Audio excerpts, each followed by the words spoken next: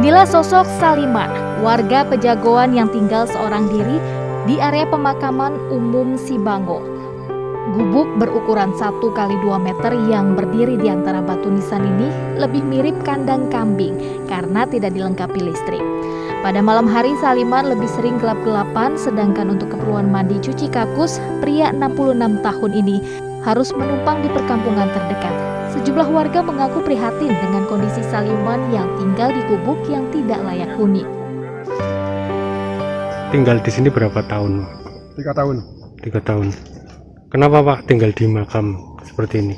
hmm, punya ada saudara. tempat Sebelumnya waktu masih muda gitu. di orang tua orang tua sudah meninggal Hmm. Ada Hasilnya sini ya Pak? masih di sini Rencananya pemerintah Kabupaten Kebumen akan berkolaborasi dengan berbagai pihak untuk membuatkan rumah layak huni bagi Saliman. Sebelumnya Saliman merantau ke Lampung, namun karena suatu hal, Saliman akhirnya pulang ke kampung halamannya.